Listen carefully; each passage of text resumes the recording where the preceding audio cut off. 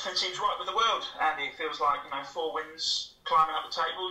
Can't ask for an awful lot more, MK Dons at the moment. No, and the the last game with a clean sheet as well. It's the icing on the cake, really. I feel it's something we deserved. You know, um, I think the way we've been playing, it's we've finally been rewarded with it. So um, we just got to keep going now.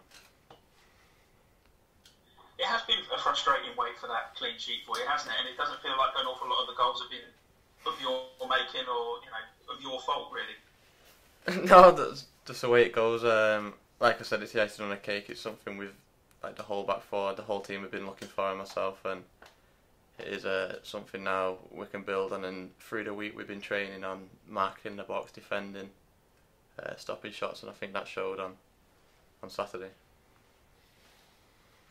When you look at that back six, I think it was an average age of about 22 on um, on Saturday. It's it's not often you say that about uh, about a team in, in their defence because you know you expect a few experienced heads, and obviously you've had the likes of Dean Lewington and, and Richard Keogh in front of you uh, at points this season. But you know, I suppose if you're if you're good enough, you're old enough. Yeah, exactly. I thought Zach uh, stepped into Dean's role really well as well, considering uh, it's big boost to fill there. You know, we've played 800 games for the club, and I feel that um, he built into the game very well. I mean, like you say, if you're old enough, you if you're good enough, you you're old enough. So uh, that's a, that's the way it is. Yeah. Not many saves for you to have to make either recently, which is um, I don't know how you how you take that as a goalkeeper, particularly as you, you see, still see a lot of ball with your feet. I mean, you're not involved as much with your hands. No, um, like I say, I like making saves, but um, that's where we wanna that's where we wanna have it here, and it shows that we're doing something right with the with the defending and marking in the box, and that's why we worked all week on defending and picking up and stopping them getting chances. And like I said, that showed, and it's rewarded with no shots. Does it mean something to you guys to, to be in the top half of the table this season, or is it just just a number and, and you guys don't really pay a lot of attention? Yeah, no, we don't really look at it like that. We've we're just taking it game by game and just seeing where it goes from there. There's teams around us on similar points with games on, so we'll just take it as it goes. So you're not going to be talking about playoffs anytime soon, guys. not just pinning it on you. I, I have asked everybody so far. no, look, we'll just take it game by game and see where see what happens from there.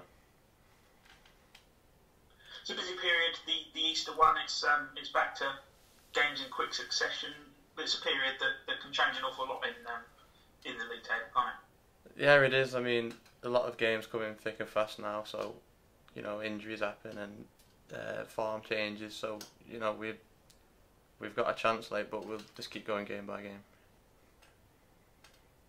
Lincoln, a team that uh, started the season really well, they're having a little bit of a rough patch at the minute, but it must be uh, must be a good place to go and play. Uh, well, good time to go and play. Yeah, no, it is. I mean, we back ourselves at any team. I mean, you look at Hull and we, you know, we dominated the game pretty much, and we back ourselves anyone in the league here, and um, we always go with the mindset to win. Now, one of your um, goalkeeping mates, Laurie Walker, he's obviously gone off on loan and is uh, is playing regularly with Oldham. It must be it must be great to see that a guy like Laurie is um, you know not seen an awful lot of first team football is now is now out there doing it. Yeah, no, he deserves it as well. He's waited long enough for his chance, and he's playing really well. So I am, like you say, I'm really happy for him, and um, you know, hopefully he gets a lot more game time there, and he comes back a, a not much experienced, more better keeper, better keeper. How different is it being being able to play first team football regularly? I mean, this is probably a daft question, but you know, from from training every week as he does, and, and helping you guys warm up to chucked in into league football, it's a, it's a huge change, isn't it? Yeah, no, and for me, it's my first season, and I found it tough with the games. You know, looking after your body and the way we played, moving, like my legs kicking.